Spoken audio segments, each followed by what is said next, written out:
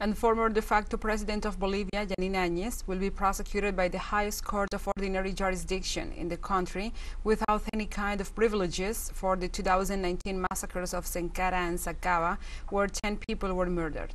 The decision was ruled by the Attorney General Juan Lanchipa, who explained that the process for the trial of its known by the Supreme Court of Justice, but its proceedings will be referred to judges of the ordinary courts of La Paz and Cochabamba to move forward with the cases against Áñez. On the other hand, the Minister of Justice, Ivan Lima, reported that Judge Israel Claros authorized a criminal investigation against the former senator for the crimes of genocide and murder.